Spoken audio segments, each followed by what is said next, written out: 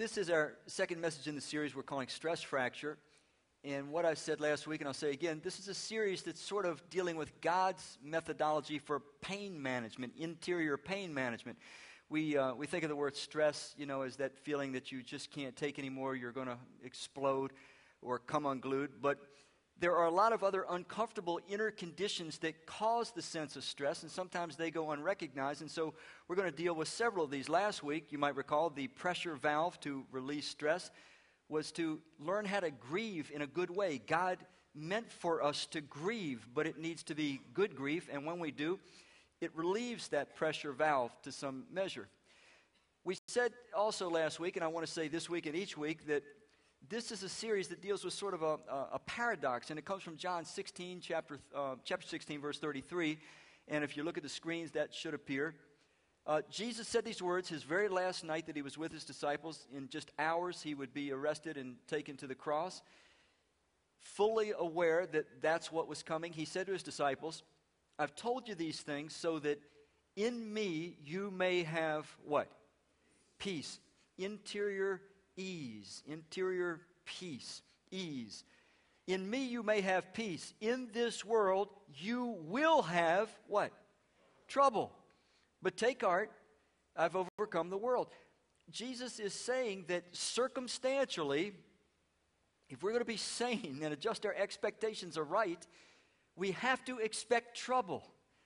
We, we shouldn't go through life as God's people being shocked surprised when we have circumstantial trouble.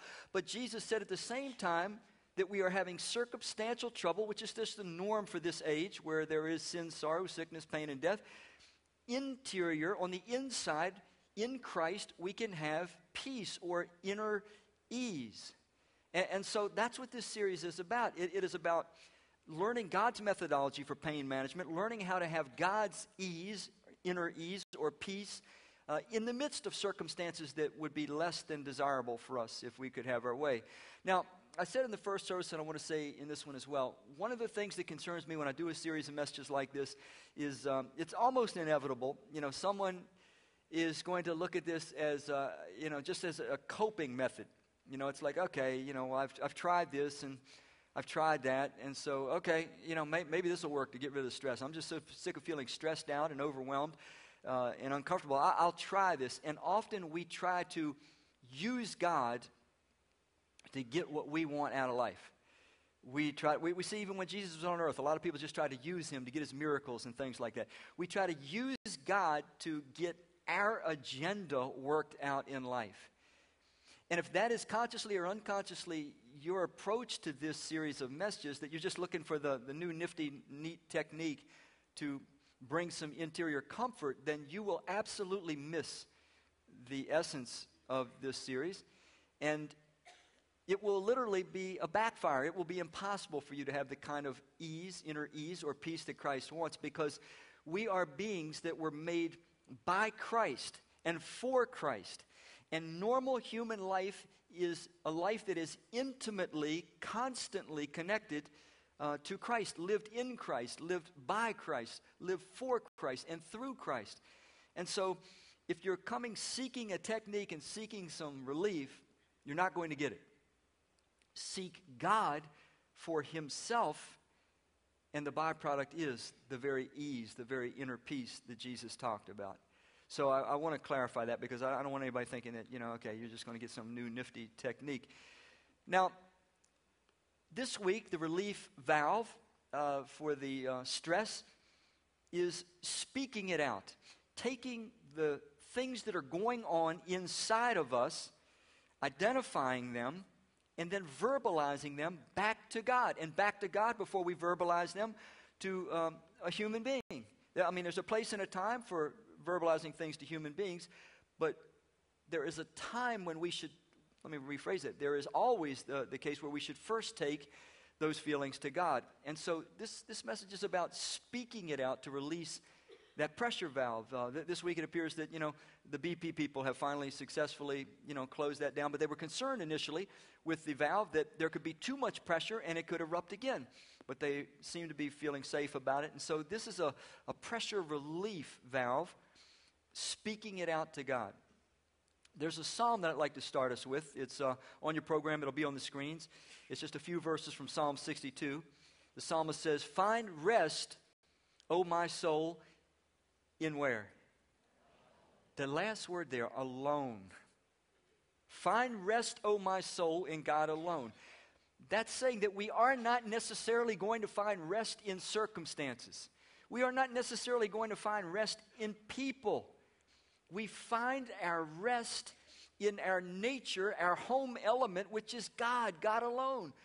Just as a fish was made for water, we are made for intimacy with God, and that's how we're designed. The Bible is not a book trying to perpetrate a religion. It, it is the designer and the creator saying, This is who I am. This is who you are. This is how I've made you. This is how life works. It's the only way life can work because this is how you're built and designed. And we are built and designed for, for intimacy, ongoing intimacy with God. So he says, Find rest, O my soul, in God alone. My hope, my hope comes from Him. Listen, human beings can't solve the problems we have on this planet. We, we can't. Our hope, our real hope, it comes from God alone. Then he goes on to say this in verse 8. He says, Trust in him at all times, O people. Pour out your hearts to him, for God is our, and what is the word? Refuge. A refuge is a place of safety, it's a safe place. It's the place where you can be and you don't have to be concerned at all about anything uncomfortable, anything threatening. It's your safe place. It says that God Himself, not what He does for us, Himself, when we are engaged with Him appropriately, He becomes this safe place for us. But the verse before, or the phrase before, said it happens as we pour out our hearts to God. And that's what this message is essentially about. It's learning how to pour out our hearts to God as a normative uh, way of living our lives, speaking out our inner dis-ease so that God's ease or peace can replace our dis-ease or our inner discomfort. Well, let's go ahead and look a little more deeply at this. Um, if you uh, if you don't mind, we're going to turn our attention to um, a movie that's one of my favorites. Uh, you may hate it, and it's okay. It's not theologically accurate. I don't want you to think, oh, gee, get, get this movie. It's a great Christian movie or anything like that. But um, it, it is a movie that was extraordinary to me. The, the role was played by Robert Duvall. He should have won the Academy Award for it, the Oscar. He was actually nominated but didn't get it. But it's a movie called The Apostle, and I'm just curious if anyone in here has seen it. Can I see your hands? Uh, if you haven't and you want to see a really remarkable movie, now, again, I'm not saying it's a great Christian film that's going to teach you how to follow Christ, but if you want to see a remarkable movie and an extraordinary performance, go ahead and rent it, The Apostle. But I want to show you a scene from The Apostle because I think that Robert Duvall in this movie illustrates in a very easy to grasp way what the scripture means by pouring out our hearts to God, speaking out what is within to God in a normal, raw, unedited fashion. So I'll, I'll let Robert Duvall take it from here. What's going on here? Whose funeral is that attending to here? Don't tell me it's the mine. Hmm? I don't know how to begin. Well, open your mouth and just kind of get to it. That's that's the way I know. Seems that Sister Jessie don't want you among us anymore, and she, she's gonna take the church away from you through proper channels. That's why we're here. We're sorry. It's just such a shock. I don't know what else to say. Uh, I just don't know what else to say. You delivered your message, and I have received. Thank you very much. Somebody, I say somebody, has taken my wife. They stole my church. That's a temple I built for you. And I'm gonna yell at you because I'm mad at you. I can't. Take it. Give me a sign or something. Blow this pain out of me. Give it to me tonight, Lord God Jehovah. If you won't give me back my wife, give me peace. Give it to me, give it to me, give it to me, give me peace. Give me peace. I don't know who's been fooling with me, you are the devil. I don't know. And I won't even bring the human into this. He's just a mutt, so I'm not even going to bring him into it. But I'm confused. I'm mad. I love you, Lord. I love you, but I'm mad at you. I am mad at you. So deliver me tonight, Lord. What should I do? Now tell me, should I lay hands on myself? What should I do? I know I'm a sinner and I once in a while womanizer, but I'm your servant. Since I was a little boy, you brought me back from the dead. I'm your servant. What should I do? Tell me. I've always called you Jesus. You've always called me Sonny. What should I do, Jesus? This is Sonny talking now.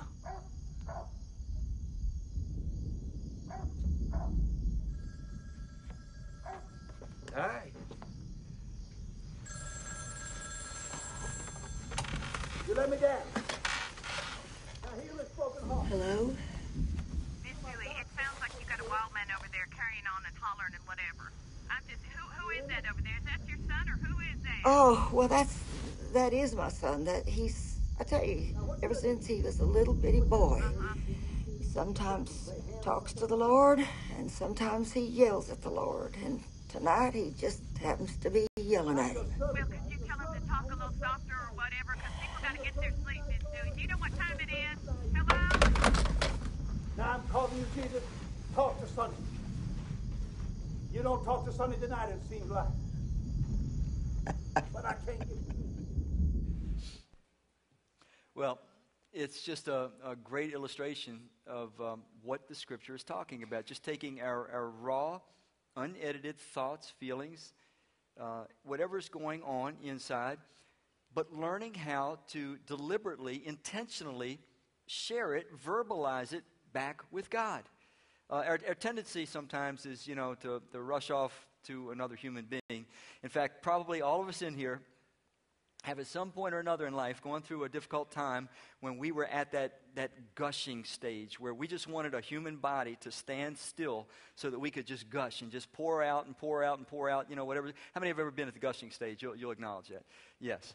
And uh, of course, some of you here are probably verbal processors, so you're thinking, what is gushing? Uh, because that's your way of life. See, you don't, you don't even know who I'm talking about because you are uh, probably a verbal processor. Verbal processors gush always, you know. It's the way they think, it's the way they order their thoughts. They have to speak things. It's, it's kind of like they, it's a scattergun approach. They just speak, speak, speak, speak, speak, and then they rearrange it and they see what it is they were trying to figure out. But anyway, but we all gush. Unfortunately, what we usually do is we gush to other human beings because we can look in their eyes. You know, they're there, they, they're tangible. But there's some things that when we're gushing to them that we really should consider a little more deeply. First of all, even though they may care for us, even though they may want to understand us, they really are always going to be limited how much they can understand. Listen, there is never, ever going to be a human being, I don't care how much they love you, how close they are to you, there is never going to be a human being that's going to understand you completely. So get over it. And, and don't start charging people with guilt because they don't understand you. Of course they don't. They never will. You'll never understand me. We cannot make ourselves completely known to another human being no matter how hard we try. But when you feel misunderstood or not understood, isn't it a little frustrating? And we just feel a little, a little extra lonely and a little extra down?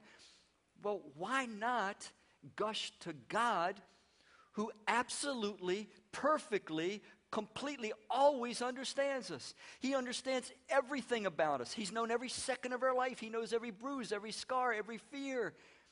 He knows it all. He knows the whole real story, by the way. He knows what actually happened, what's really going on. Why not go to the one that completely understands and who actually has the power to help us in a useful way. Sometimes people, you know, that we go to, they'll try to help us. They'll do almost anything just to shut us off sometimes or to shut us up. But they, they try to help and they offer their suggestions, their advice, and sometimes they reinforce what they shouldn't reinforce in us, and sometimes they, you know, condemn what they shouldn't condemn. But, but God actually can help. He knows what's actually going on, and He, he can bear us. Uh, he, he can bear the whole thing. He knows all of the imperfections, and yet He still is able to bear with us. So, to take these raw, unedited thoughts and feelings to God as a normative, regular habit of life is what God in His Word says we are wired to do. We are beings that are made when we're living normally, when we're living sanely. We are meant to be in constant communion, constant communication with God. Our society today is not living normal. The models we see in our society, for the most part, the majority of us tragically live a great deal of our lives distracted, cut off from intimate fellowship with God. And, and we tend to think that that's normal. That's not normal. We were made by God, by Christ, to have constant communion with Him. That's how we become our real, truest selves. That's how we get healthy and stay healthy. That's not for super duper religious types, that's for human types.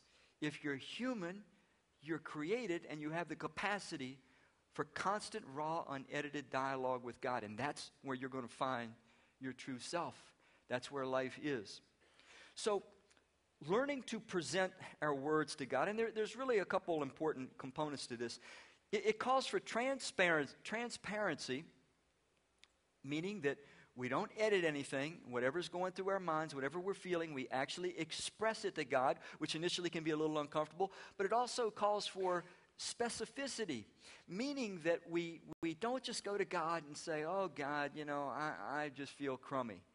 You know, we have to be specific in our words. Sometimes for us to, to hear the word, for us to, to, to search a little bit, well, I'm feeling crummy because this is going on, or this is not going on, and I wanted it to go on, or this happened and I wish it hadn't happened. Be specific. Nothing is dynamic until it's specific. Vague generalities really don't work out in this case. We, we have to be specific. We have to identify. We have to recognize and then present these thoughts to God. We have to tell Him what is going on inside of us. We need to be, be very comfortable presenting to God our plans and our struggles and our dreams and our hopes and our fears and our problems and our hurts and our pain. We have to take our griefs and our sorrows and our sins and our failures. And we should just be comfortable with this. It is, it is possible to have ongoing dialogue with God uh, all during the day as we're doing, you know, our activities. I'm, I'm not saying that you're, you're, you know, not focused on what you should be doing, but there's, there's the ability that God has placed in us to be aware and to stay in dialogue to some measure with Him all during the day. And that's, that's normal life. That's the way the universe in the future will be. We'll all have that, that sense of intimacy with God forever. But presenting, in this life, presenting our words, our specific words to God is a very powerful thing, and God meant it to be. Listen to Lamentations chapter 2. This was Jeremiah writing after the, uh, the Babylonians had destroyed the nation of Israel, the southern kingdom. Uh, they were in captivity, taken for 70 years. But he's looking at the destruction, and, and he says these words. He says, Arise, cry out in the night. As the watches of the night begin, pour out your heart like water in the presence of the Lord. The idea is just, just dump it all out. Whatever is inside, don't crush it down. Don't let the pressure build. Pour it out. Pour it out, unedited and raw. Pour out your hearts before the Lord. Psalm 142, the psalmist said, I cry aloud to the Lord. I lift up my voice to the Lord, kind of like Robert Duvall. You don't have to take your words and say them out loud. You can, from your spirit, pour out your thoughts to God and He hears. But I believe with all my heart, some of us would find it an amazing, transforming, cleansing experience if we were literally to do what Robert Duvall did. Get alone somewhere and let our mouths speak out the words of what's going on inside of us so that we hear them as God's hearing them. And if we need to shout, find a place to shout. And if we need to weep, find a place to weep. Anyway, the psalmist said, he says, I, I cry aloud to the Lord. I lift up my voice uh, to the Lord for mercy. I pour out my, what is the word? Complaint. I pour out my complaint before him. We have complaints. Before him I tell my trouble. We have trouble. Psalm 5:1. Give ear to my words. Our words is what God wants to hear. Oh Lord, consider my sighing, those interior uh, conditions that just make us sigh and feel crushed and weighted. He says, Listen to my cry for help. We often need help. And then he says, My King, my God, for to you I pray. Look at the personal, the personal words there. He says, It's my complaint, it's my trouble, it's my words, it's my sighing, it's my cry for help. And you're my King and my God. Intensely personal and intimate. God wants this. I, am going to just give you something to think about. Um, we all do this. We, we, we all, you know, you go into your, public places, your neighborhood, your place of business, or your sports club, or whatever, and you, you meet people, there's certain people that you know kind of casually, and typically, you know, you see one another, you say, uh, hey, hey, hey, how's it going? Right? How, how many do that? You, something like that. You may not say like me, hey man, how's it going? But uh, you say some form of greeting. How's it going? And what we're expecting back is someone say, oh, good man, you know, good. And you just, you go your way, right? But what if somebody sits there and say, how's it going? I'll tell you how it's going. My entire life has been, let me tell you what happened to me from the time I was two years old up to now. Let me tell you what I'm feeling inside, right? We would be freaked out, right? We'd be like, whoa, whoa. No, we, we don't expect that. In, in fact, we would never dare do that when somebody says to us, hey, hey, how you doing, right? I hope not anyway. Um, we only share those kind, we know this, that you, a human being, anyone, only shares those kinds of things with the people that they are the closest to. It is inappropriate to share those kinds of intimate, deep, personal things with just casual acquaintances. Those things are reserved, okay? They're reserved for the people that we trust the most, love the most, believe love us the most, right? They're the ones that we share. And, and sometimes we don't even share it with them. We, we should. You got to share it with somebody. You're going to explode like that BP thing, you know? but sometimes we don't. We feel isolated and scared, you know, that if we ever shared, we'd maybe be rejected or, or something like that. But we have to, we have to pour this out to God because, listen, there is no one that knows us as well as He does. There's no one that loves us as much. He is absolutely unshockable. There's nothing that you and I can ever say or do that's going to surprise Him or shock Him. His love is unstoppable, it's unshockable and you can deepen your love relationship with God. I can deepen my love relationship, my sense of being loved by Him, and my sense of love for Him will increase. I promise you this. It will increase as I start to share the deepest parts of myself with Him. Let me go a step further. I know this by experience you will only feel as loved by God, or you will, you will only feel God's love. We all know He loves us, but feel His love to the degree that you and I share each and every part of ourselves. We have to open up all those little dark caverns that we've tucked away in our life, the places that are so dark and so painful, we don't ever want to revisit them. We have to open up everything. It all has to be open. To the degree that we open up ourselves to God, to that degree, and not one degree more, will we feel, will we feel His love for us. Now, He loves us entirely, but we won't feel it until we open up every single part. Look, you notice on the human part. When, when, when, you do have those moments and you finally share something really personal, something really vulnerable, something really, you know, scary, you know, with somebody, and you look in their eyes and you see, man, they still believe in you, they still love you, they still accept you.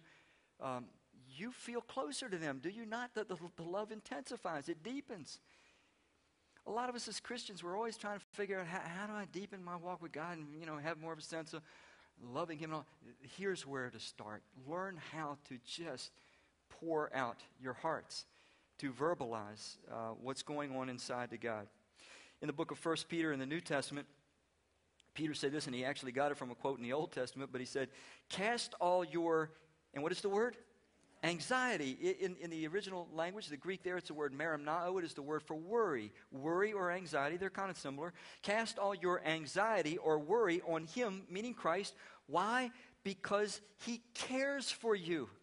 Let me tell you something that happens when we do this, when we actually take what's going on inside and we pour it out to God, our worries, our fears, our anxieties, or our anger, whatever it is, instantly, instantly in most cases, those issues that we have with feelings of insignificance and inferiority, uh, instantly they go away because in God's presence, we instantly know we matter. We know that. And sometimes that's more important than anything else. This verse says that whatever we're worried about and we have anxiety about, He cares about. Whatever matters to you matters to Him, is what He's saying. And when we take what is going on on the inside into his presence, immediately we have this sense of significance and hope starts to grow. We know we're understood. We know we're loved. We know there's, there's somebody that can ultimately take care of the mess that actually is inside of us that we know we can't take care of. And the mess around us in our world that no human can take care of, that he promises ultimately to do that too. But it happens when we do this, when we, we take our anxieties and our cares into his presence says this in 1 John chapter 1 verse 9 and, and this is written I want to clarify this this is written to those that are Christians 1 John 1 9 it is written to those that have believed that Christ the creator of the universe loved us died on the cross to pay for our sins rose from the grave proving that all of his promises of forgiveness and everlasting life he could fulfill. It's those that have said I'm going to put my faith in Christ and I'm going to follow him fully for the rest of my life because I really trust him. That's what it means to be a Christian. Being a Christian doesn't mean you go through some little ceremony or you have nice sentimental feelings about Jesus and the Easter bunny and all that kind of thing. okay? It's the real deal. It's saying, look, man, everybody's following somebody. They're either following themselves or some other human or some ideology. I have made up my mind. I am putting my faith and trust in Christ and I'm going to follow him fully forever because he loved me enough to die on the cross for my sins. He's wise and powerful enough to create the universe. I can't find anybody better to trust and follow. So I'm going to put faith in him. So this is written, 1 John 1 9, to real Christians. Okay? So let's see what it says. It says, if, notice, if, not necessarily will we do this, if we confess our sins, he is faithful and just and will, what does it say? Forgive us our sins, but he doesn't stop there. And what does it say? Purify us from all unrighteousness. We need two things. We need forgiveness, but we need purification too. Now, this is written to Christians. That, that doesn't, eh, that, that's not right. It's a, if we could, why would a Christian ever have to confess a sin? Christians don't sin, right? I mean, Christians, I mean, once they turn to Christ, they're perfect, aren't they? They, they never sin again. Right? I'm being facetious. Obviously, obviously, we know. You see, God is not shocked by our condition. We are. we are. We, we live in denial with ourselves. We just won't own what's going on.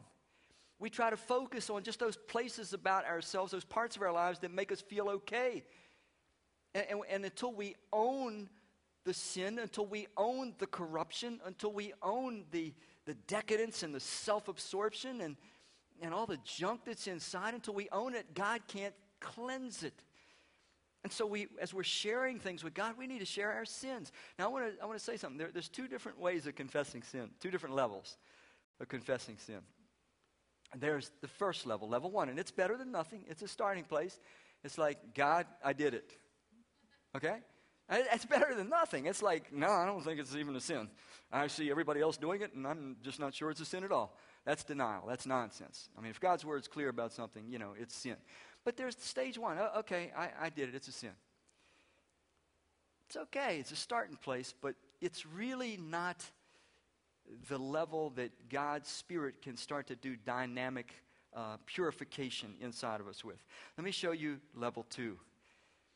God I sinned this particular sin, and I did it because I wanted to experience that, or I wanted to have that, or I wanted to do that. And, and, at that moment, I didn't trust you to, to resource me enough. I didn't think you really could give me what I needed, what I wanted. And I frankly didn't care about you or your laws or your will. I didn't really care, God, about who I hurt or what I had to do to get it, all I thought about was me. I didn't care one iota about somebody else's feelings or what this might put them through. It was pure selfishness, God. It was pure lust, God. It was pure greed, God. It was pure anger, God. Whatever it is. I have no excuse for myself. It's not like some isolated, apart from me thing, oh, I just was not myself. No, I was myself. This is who I am. I am capable of incredible evil, and I am evil. There's a part of me, God, that so desperately needs your redemption, your forgiveness, your, your cleansing, that if you leave me to myself, I know what I am. And I, I have no illusions about I'm a good person. I, the thing about being a good person, it's easy to be a good person, isn't it? I can always compare myself to somebody else, that I'm, I'm better than them. I mean, the world is full of some real scoundrels, right? I can always find somebody that's a little bit worse than me. And some of us are so full of inferiority and denial that we live our whole lives cr- criticizing others. We can't get around somebody or anything without getting aside, getting apart, and then just, just nitpicking somebody else because we feel so lousy about ourselves. We feel so unattractive. But if we were to get into God's presence, pour out everything the good, the bad, and the ugly and own it stop Christianizing it, you know, we would find that, first of all, God never sees us as unattractive, even when we are at our selfish, sinful, most ugly state. He doesn't see us that way. But we won't know that unless we get into His presence, and He'll forgive us and He'll cleanse us. And that cleansing starts a restorative process, and the image of Christ starts to be formed in us. It won't be formed in any other way. Now, a word to those that are, that are the. Um, the morbid conscience, uh, over scrupulous conscience types. Uh, I would not be serving you well if I didn't bring this up. There are some Christians that have morbid consciences, over scrupulous consciences that are, that are endlessly introspecting, you know, endlessly analyzing themselves. They are so in pursuit of holiness and righteousness that they care more about, quote, holiness and righteousness than closeness to God. Holiness and righteousness has become an idol replacing God. They care more about their performance, their persona, than God. And they become Pharisees. They become religious legalists. They become ugly moralists. And, and, so, if you have that tendency to be one of those introspective types, the only thing it does is it builds more and more self absorption, more and more self indulgence, and a very ugly sort of a religious character, but not the character of Christ. Listen,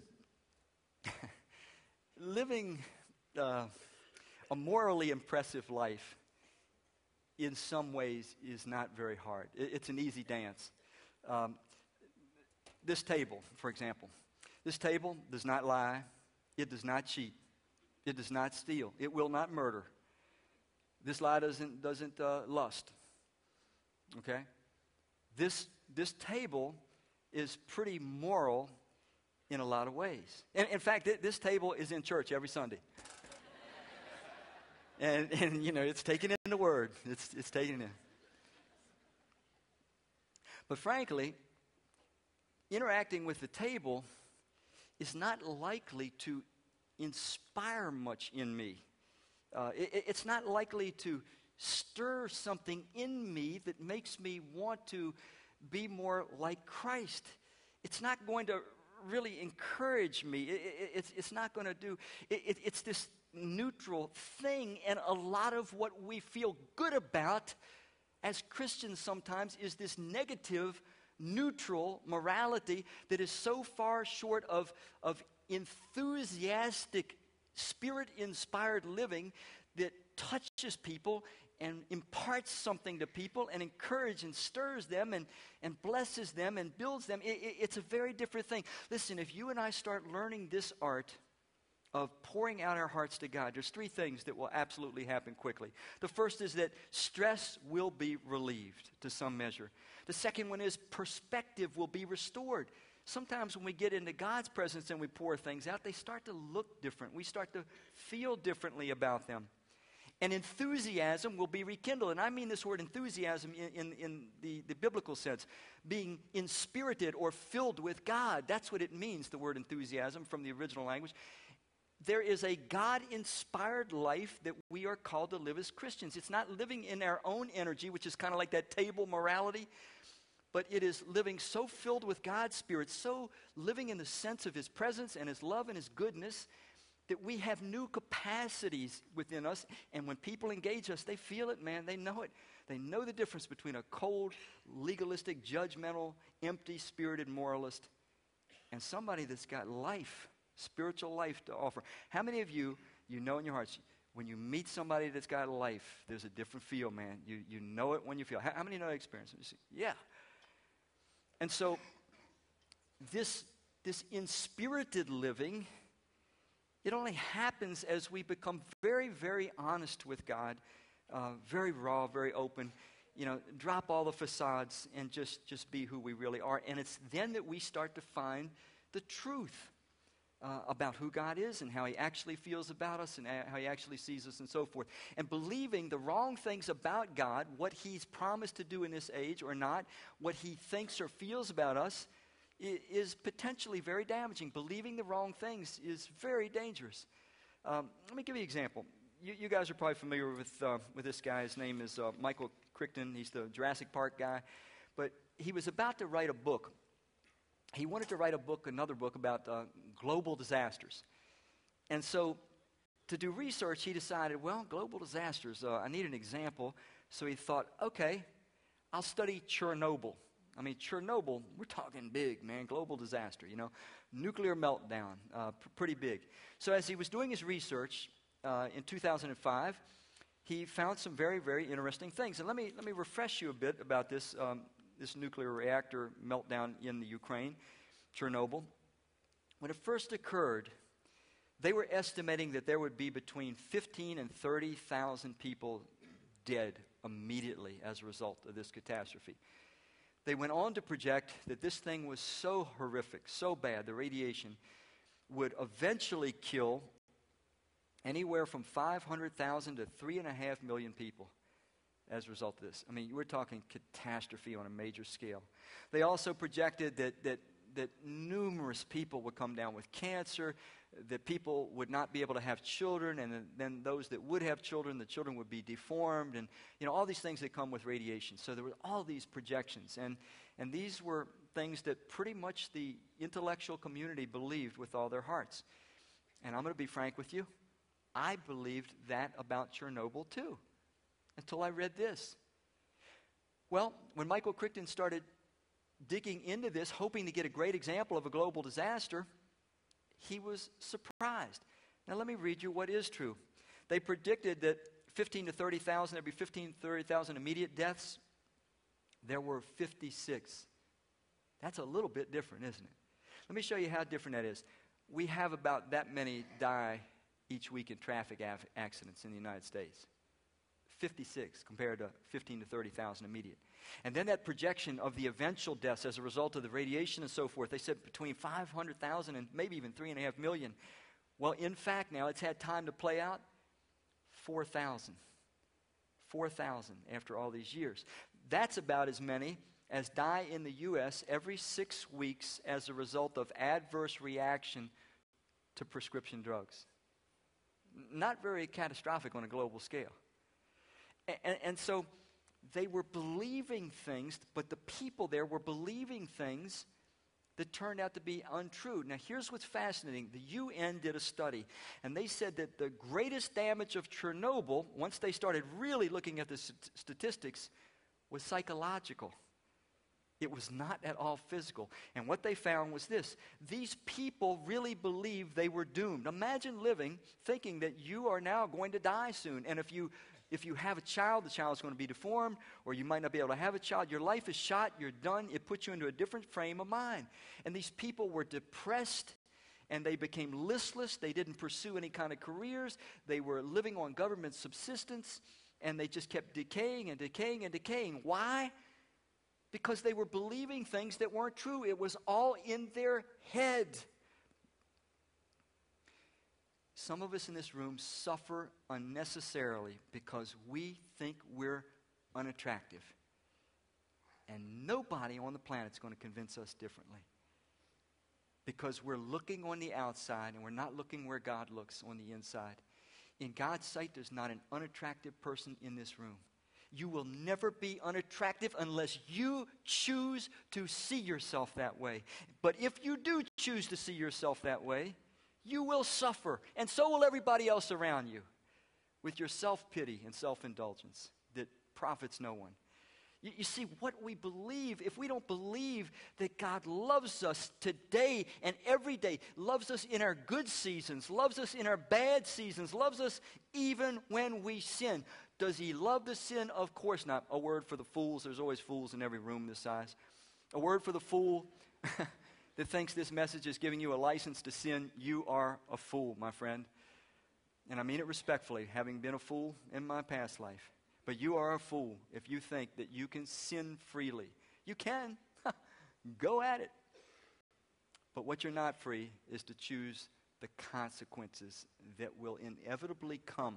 Sin is just insanity. It's just trying to live outside of the laws of your nature. You can't do it. So if you're sitting here and you're hearing this message, oh, good, man, I can go out and sin all I want, and God still loves me and pats me on the head, you're just nuts. You're just a fool. It's okay to be a fool. Probably all of us been a fool, but you can't stay a fool unless you want to live with a whole lot of unnecessary consequences. Okay, that was a little side issue. But when we get into God's presence, without denying all the craziness that goes on inside of us, and believing that he's not shocked, he's not surprised. He knew what a mess we were. We just don't know. We just don't want to believe it. And he loves us and he stands with us and he'll never leave us and forsake us. And if we're willing to pour this out to him, the good, the bad, the ugly, then, then he'll, he'll not only cleanse us, but He'll bring us to that image of Christ that we were meant to. We'll, we'll know what it's like to be not alone, but always loved and always intimately at home with God.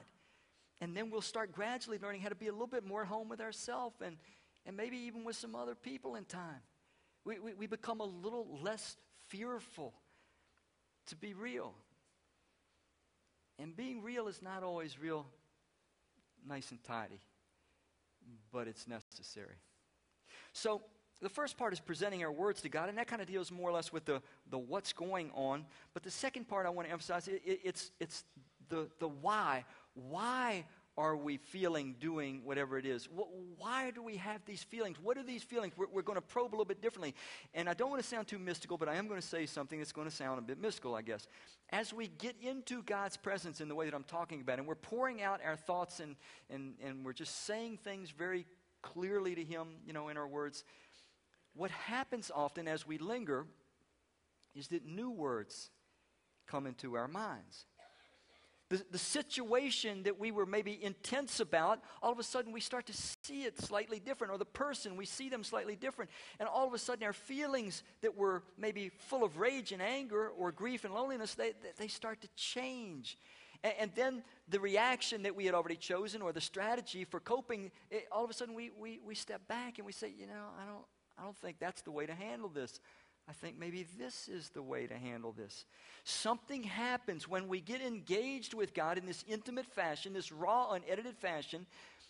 We receive, and I was hesitant to put this down, we, we receive words I put with God, but I was almost ready to put words from God. But I was hesitant to do that because I didn't want you to think that any little crazy word that comes into your head is from God, because that's not true. A lot of times it's just your and my craziness, okay? But when we get into God's presence in this fashion, there are words and ideas and concepts that come into our minds. And when they align with the Bible, with God's Word, then we can act on those. But, but our perspective gets changed in God's presence. Our feelings, our thoughts, our strategies change. In His light, we start to see things differently, which then changes the way we feel. Let me read you some scripture, and then we'll, we'll plunge in this a bit deeper. It says in Psalm 36 5, Your love, O Lord, reaches to the heavens, your faithfulness to the skies. With you is the fountain of life, and in your light we see light. It, it is the idea that, that, you know, our perception is like walking into a dimly lit room, but when we get into God's presence and we're opening ourselves up to Him, then the lights come on and we see things that we could have never seen before. Proverbs 20, verse uh, 27 says, The lamp of the Lord searches the spirit. This is our innermost being, the spirit of man. It searches out his inmost being. God brings light into those crevices. He, he gets into our motives and, and all kinds of things that we would not discover. Psalm 43, it says, Send forth your light and your truth. Let them guide me. God's light and His Word, the Bible, the truth will always coincide. Any light that we get in our moments of engaging with God in our minds that doesn't align with Scripture, we should never follow.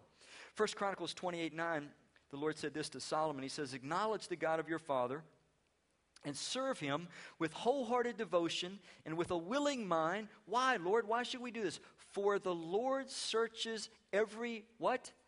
Heart and understands every what? Motive behind the thoughts. You see, God doesn't always just ask, What are you doing? He says, Why are you doing that? You see, I, I, I, can do some things that might look very noble and virtuous and be very impressive to other human beings. Okay? But when God looks at my heart, if He sees that why I'm doing it is purely self indulgent, then what I'm doing is really pretty sinful. It's not really impressive at all. And it's only in God's light sometimes that we see this. Some of our noblest gestures uh, and traits, I might add, in God's presence sometimes look pretty shoddy. And they just are shams for the real deal. On the other hand, sometimes when we feel really pretty inconsequential, pretty insignificant, pretty down, pretty much like a, a, you know a failure, we get into God's presence and we see that's not true. And some of our least recognized traits and deeds shine like gold in God's sight. We realize He knows, He saw it, it matters. Nobody else maybe sees it, nobody else maybe will ever understand it. But He does. And it's only in God's light that we see these things. And they absolutely change us. They absolutely do. In your light, we see light. He searches our motives. Now, we can cooperate with Him on this. It's one thing to say, God, I'm feeling this, I'm thinking that, I'm struggling with this, I need help with the other. But then to say, God, I'm feeling this. I, am feeling, let me give you the, I'm feeling sad. But, but why? I mean, we, have to be, we have to be specific as we can. God, I, I'm feeling sad, but I don't know why. Help me. Help me to see what thought, what belief, what action is triggering this. Listen, feelings are always triggered by beliefs, okay, in most cases, or expectations. And so maybe we say we're feeling sad, and then God shows, well, you're feeling sad because you expected someone to treat you a certain way or to respond to you a certain way. And they did not. And that's why you were feeling sad and kind of negative. And then in God's light, you, you see that God never promised that person was going to respond to you that way. He never, he never promised you that. You, you were foolish in expecting that. And so you were sad for no good reason. In God's sight or light, we, we see these things and it changes us. It's powerful, but God welcomes us to ask Him to search us out.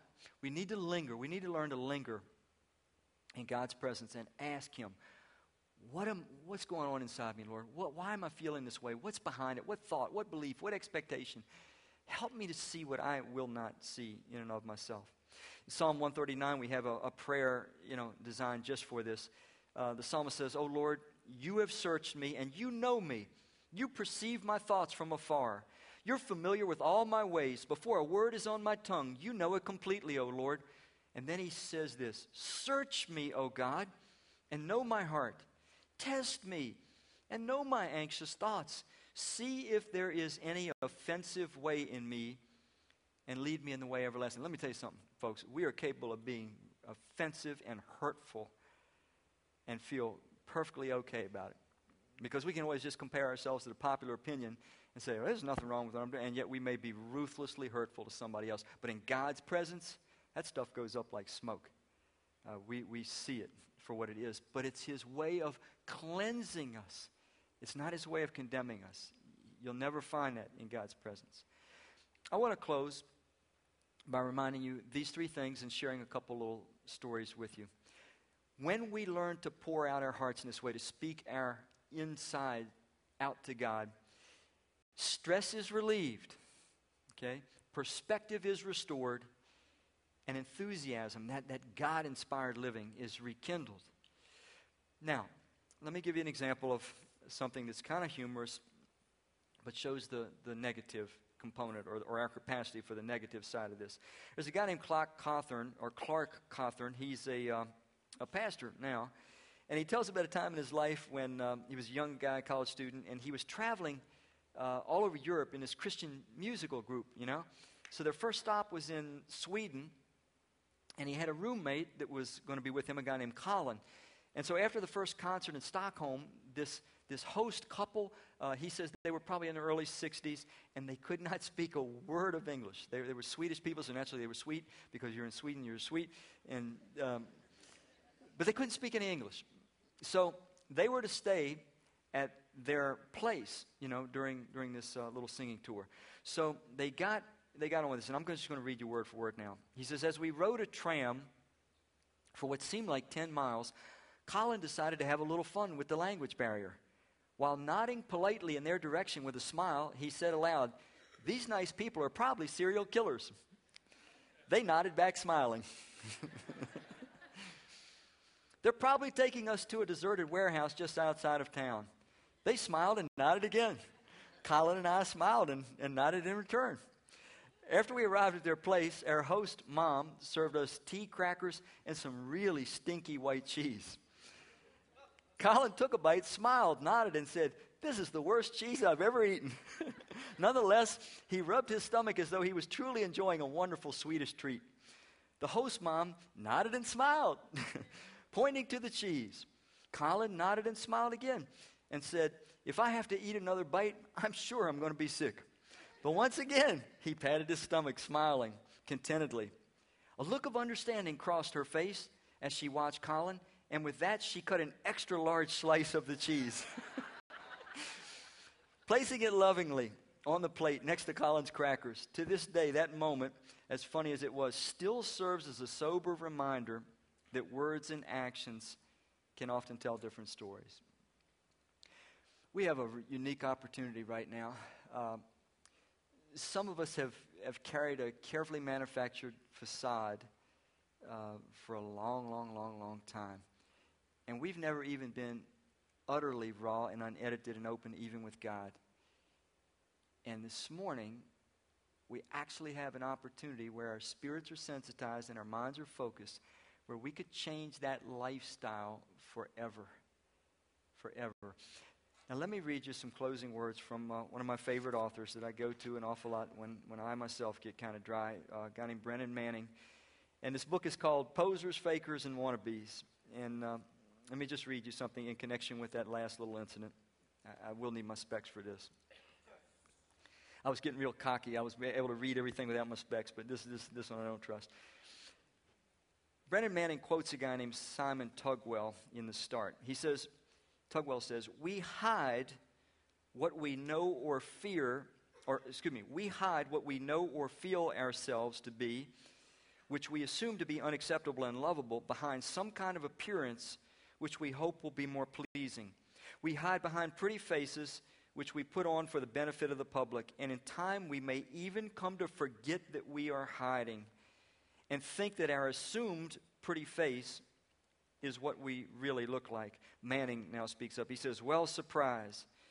Whether anyone bothered to tell us this before, and whether we like it or not, God loves who we really and truly are.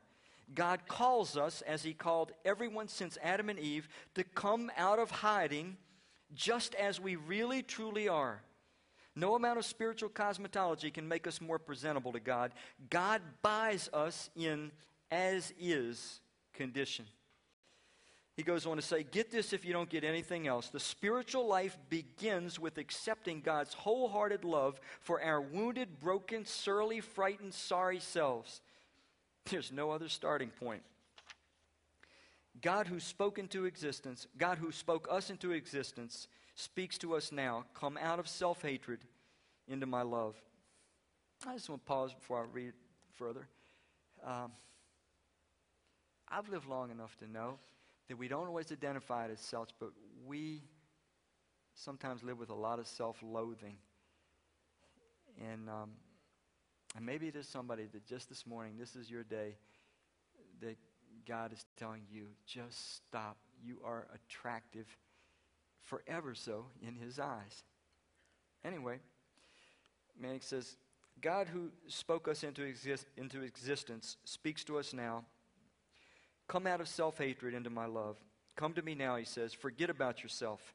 Accept who I long to be for you who I am actually for you, your rescuer, endlessly loving, forever patient, unbearably forgiving. Stop projecting your sick feelings onto me. You are a broken flower. I will not crush you. A flickering candle. I will not extinguish you. For once and forever, relax. Of all places you are safe, it is here with me. We started this message where the psalmist said that God is our refuge. He's our safe place. Listen, you can be, I can be my most imperfect, unedited self with God and know that I'm loved, I'm accepted, I'm safe. And He will do for this imperfect self of mine what only He can do. He'll start to, to erase the ugliness. It's a messy process. It probably takes longer than I ever expected. And gradually, but, but surely, he's, he's bringing out just a little here and a little there of really, truly Christ like Randy. And for that, uh, for that, I will ever be grateful.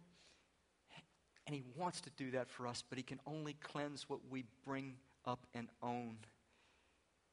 So, will you be those that live the rest of your life in constant contact with the one who loves you more than you could ever dream, and the only one who can do for us what we really need done? Speak it out, pour it out. Let's pray.